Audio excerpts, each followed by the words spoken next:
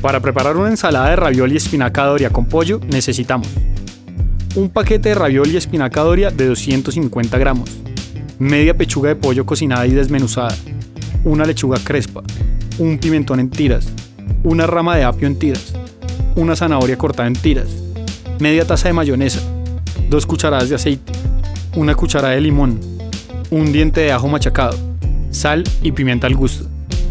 Y para acompañar, pan tajado. Primero, cocinamos los ravioli y espinaca doria por 18 minutos en un litro de agua hirviendo.